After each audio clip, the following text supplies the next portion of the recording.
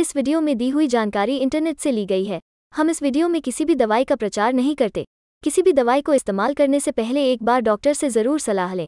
अगर आप इस वीडियो को देखकर किसी दवा का उपयोग करते हैं और आपको कोई साइड इफ़ेक्ट होता है तो उसमें हमारी कोई ज़िम्मेदारी नहीं होगी।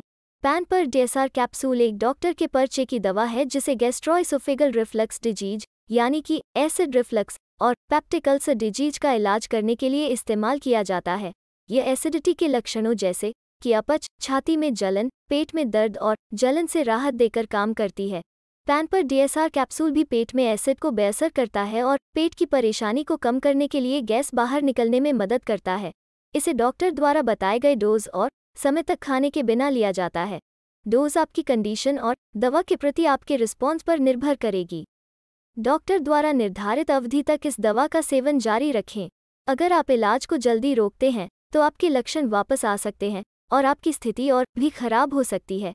अपनी हेल्थ केयर टीम को अन्य सभी दवाओं के बारे में बताएँ जो आप ले रहे हैं, क्योंकि वो दवाएँ इस दवा को प्रभावित या इससे प्रभावित हो सकती हैं। इसके सबसे आम दुष्प्रभाव डायरिया, यानी कि दस्त, पेट में दर्द, पेट फूलना, यानी कि गैस बनना, मुँह में सूखापन और सिर दर्द हैं। इनमें से अधिकांश अस्थायी होते हैं और आमतौर पर समय के साथ सही हो जाते हैं।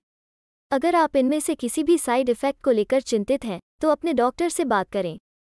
इस दवा से आपको चक्कर या नींद आ सकती है, इसलिए जब तक आप यह न जान ले कि यह दवा आपको कैसे प्रभावित करती है, तब तक ड्राइव या ऐसा कोई काम न करें जिसमें मानसिक फोकस की आवश्यकता होती है। यह दवा लेने के दौरान शराब पीने से बचें क्योंकि इससे आपको अधिक नींद आ सकती है। जीवनशैली में बदलाव जैसे ठंडा दूध पीना और गर्म चाय, कॉफ़ी, मसालेदार भोजन या चॉकलेट से परहेज करना आपको बेहतर परिणाम प्राप्त करने में मदद कर सकता है।